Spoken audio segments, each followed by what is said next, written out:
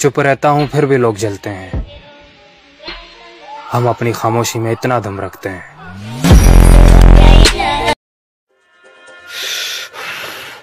आज तो ठंड ऐसे पड़ रही है जैसे कल उसका पेपर हो। भगवान हर आदमी को घर घर जाके धमका नहीं सकते। इसलिए उन्होंने पत्नी बनाई। आज मुझे बहुत ठंड लग रही थी। तो फिर मैंने कैलेंडर पलट के मई का महीना लगा दिया।